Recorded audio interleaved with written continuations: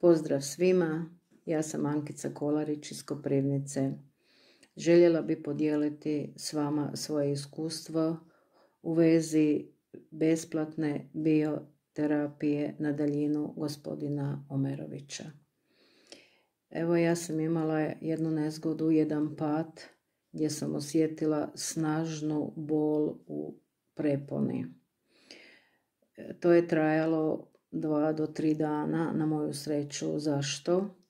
Zato što je treći dan bila besplatna bioterapija na daljinu gospodina Omerovića i prisustvovala sam toj terapiji.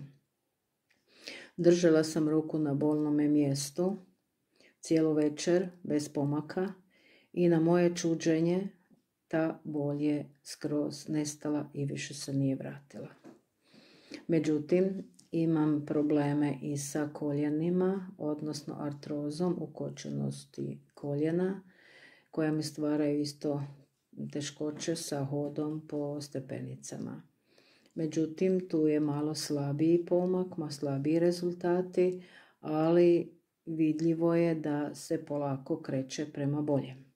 Vjerujem da će biti puno bolje, prisustvovat ću svakoj terapiji koja bude i željela bi se zahvaliti gospodinu Omeroviću na njegovom trudu, njegovom vremenu što nam poklanja.